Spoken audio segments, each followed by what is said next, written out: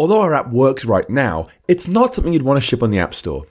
It has at least one major usability problem, and the design is, well, let's say substandard. Let's look at the usability problem first, because it's possible it hasn't occurred to you. When you create a new instance of date, it's automatically set to the current date and time. So when we create our wake up property with a new date, the default wake up time will be whatever time it is right now. Now, although the app needs to be able to handle any sort of times, you know, we don't want to exclude folks on night shifts, for example, I think it's safe to say that a default wake up time somewhere between 6am and 8am is going to be much more useful to the vast majority of users.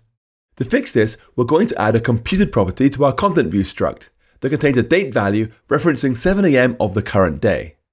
This is surprisingly easy. We can just create a new date component of our own and use calendar.current.datefrom to convert those components into a full date. So add this property to content view now. var default wake time returns date. var components equals date components. components.hour equals 7. components.minute equals 0. Return calendar.current.date from components, nil coalescing date. And now we can use that for the default value of wake up in place of date. So I'll put default wake up time here. If you try compiling that code, you'll see it fails. And the reason is that we're accessing one property from inside another. Swift doesn't know which order the properties will be created in, so this isn't allowed. The fix here is simple. We can make default wake up time a static property, which means it belongs to the content view struct itself rather than a single instance of that struct.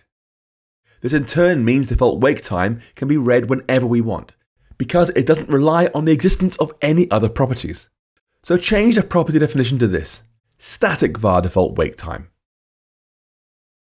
That fixes our usability problem, because the majority of users will find the default wake up time is close to what they want to choose.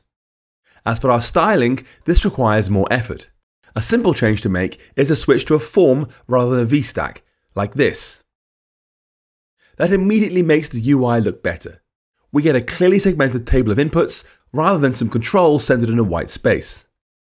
However, right now at least, SwiftUI is a bit buggy here. If you open the date picker, then close it again, you'll see the animation is broken. The date picker kind of slides downwards, then disappears.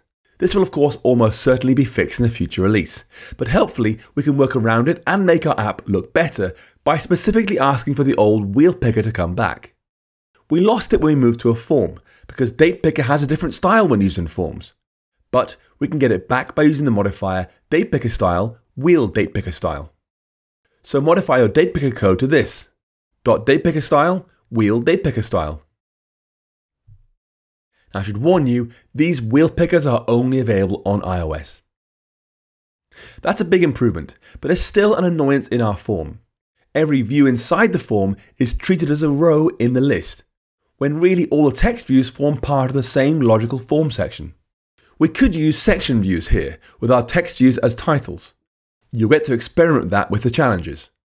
Instead, we're going to wrap each pair of text view and control with a VStack, so they're seen as a single row each.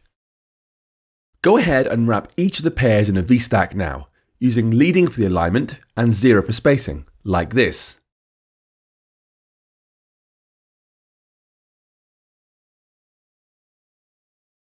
And now run the app one last time because it's done.